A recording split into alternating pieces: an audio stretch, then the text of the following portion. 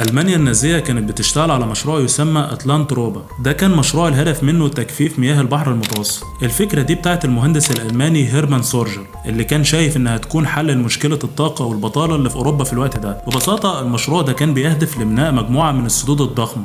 عشان تمنع تدفق المياه للبحر المتوسط إما من المحيط الأطلنطي أو البحر الأسود وتزويد السدود بتوربينات لتوليد الطاقة الكهربية لأوروبا كلها. وخلال قرن من الزمن هينخفض منسوب المياه في البحر المتوسط وده اللي هيخلق مساحة قدرها 660 ألف كيلومتر مربع هتكون صالحة للزراعة وده تقريبا أكبر من مساحة فرنسا.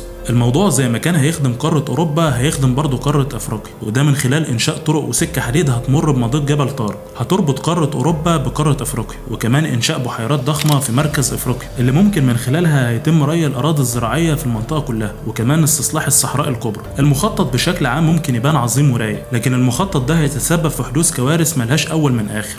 الموضوع كان هيؤدي لمشاكل اقتصادية للدول الموجودة في جنوب أوروبا وكمان الموجودة في شمال أفريقيا نتيجة لغلق المضايق البحرية بالسدود وده طبعا بسبب توقف حركة السفن في المضايق دي. ده غير المشاكل اللي هتحصل في النظام البيئي. من أهمها حدوث صورانات بركانية وزلازل عنيفة نتيجة لانخفاض حجم المية فوق قاع البحر البركاني. غير كده ارتفاع مستويات المية في باقي البحار والمحيطات حول العالم وبالتالي هتحصل فيضانات للمناطق المطلة على المحيطات دي. يمكن من الحاجات الكويسة القليلة اللي عملتها ألمانيا النازية إنها ما خدتش فكرة المهندس سورجر على محمل الجدية.